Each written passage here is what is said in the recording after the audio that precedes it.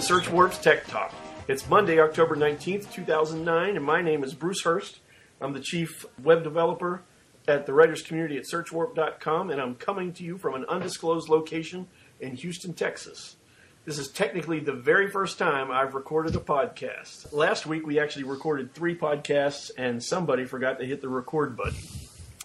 I have two of my friends here in our virtual studio. First, from Houston, Texas, I have Danny Davids. Danny's been a friend of mine for years and years and is married to Search Warp editor Lori Davids. Danny is an IT manager for the city of Houston. He's also a pet lover and manages mypettale.com. That's mypettale.com. How are you doing today, Danny? Doing just fine. Next, from South Scotland in the United Kingdom, we have Connor Davidson. Connor's a full time student studying math and physics and he refers to himself as a man of science. Connor's writing a book with Cameron Home called The Granny's Guide to Science. How are you today, Connor? I'm fine. Okay, uh, today's topic is book publishers mull over changes to the publishing industry.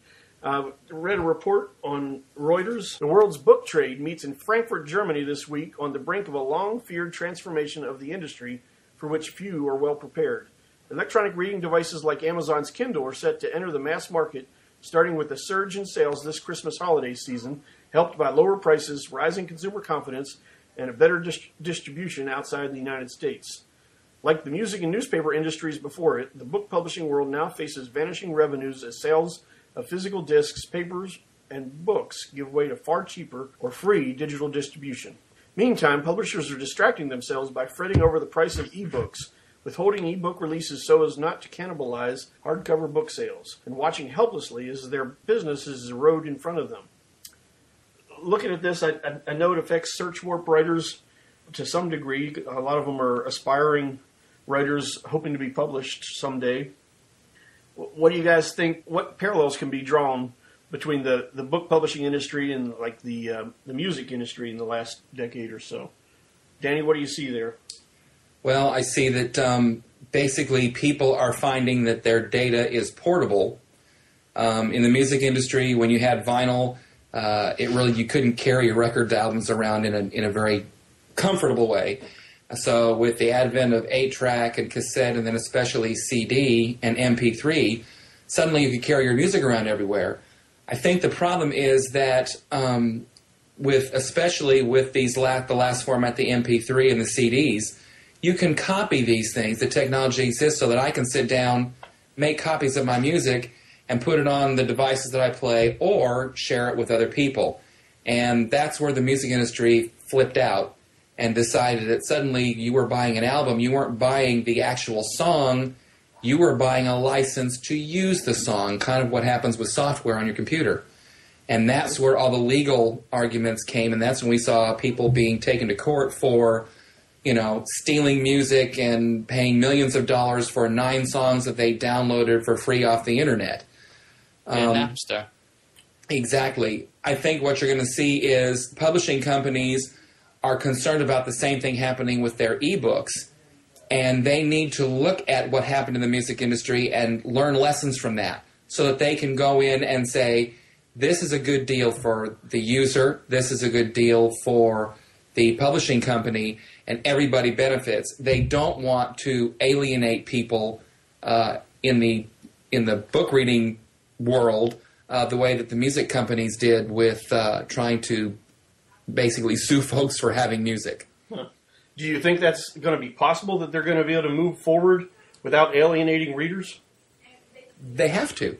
Um, if uh, if you read any of the articles on these folks who are being taken to court for obtaining music by without purchasing the songs or purchasing the licenses, uh, you'll see that there are a lot of folks who who you know responded by saying, "Well, let me show you what I'm going to do," and um, ended up you know making their music available for even more people to get for nothing. Uh, yeah. There was. Go ahead, go ahead, Connor. All right. Um, the, I've I have read two of them articles, and they always seem to be anti the music industry, they're all very negative press over that whole thing. They, there was very few people when, when Napster went that said, "Oh, poor music industry." It was all, "Look how horrible these big bucks guys are." They're trying to steamroller everybody.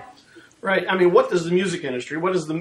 they- are the middleman. What do they add to it? They they take from the artists, they take from the musicians, and they mark it up, they distribute it, and then they sell it to the users. Well, what the internet has done, what this technology has done, is cut out the middleman, and that's the that was the the RIAA, the the, the recording industry, and that's going to be these book publishers. So, um, you know, are are are the book publishers' days numbered? Are they? Um, uh, have you seen Smashwords? That's one of the leading, well, one of the best royalty paying I've found for ebooks, and they pay the author. I think it's eighty-five percent, according to this source I've got up here, of the sale price, um, which is pretty incredible considering uh, co- conventionally published books through, for example, the Book Guild. They can give up to ten percent, on some of them even being less than that. And what's the what are the uh, upfront costs to do a, a, a book tr- the traditional way?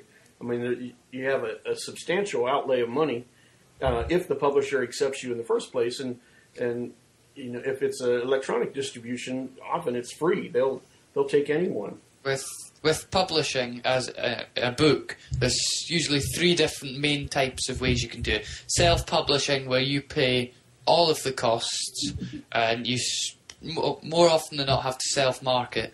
Then you have um, sponsored, which I'm not for. It sounds a bit dodgy. It's where the you pay the first edition of the book to be published. You pay all the costs, and the publisher will do the editing and They'll provide you with a bit of marketing. They'll use what they their distribution chains to sell your book, but then they'll take royalties. Um, they'll take a percentage of that from you, even though you've paid the costs to print the books. Um, and then you've got conventional publishing, which is where the publisher pays all of the costs in their entirety, and you only you just write so give them your work. Right. Um, but but with ebooks, the the great thing is there's there's no big costs for the publisher, so the risks are much lower. if you imagine these publishers, say they print off a million copies and the book completely collapses, they they go out to the stores, nobody wants to buy them, the publisher's losing millions of pounds, and for independent publishers, that that could really that could make some of these guys bust.